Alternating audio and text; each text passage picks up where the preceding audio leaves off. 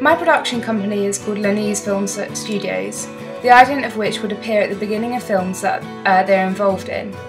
Um, the role of the production company is to be responsible for the fundraising of the film through parent companies, a partner company, or a private investor. For Bang Broke, I'd prefer the funds to be supplied by a parent company in order to generate sufficient funds to do special effects, such as the car accident, and being able to go to lo impressive locations, which could be costly.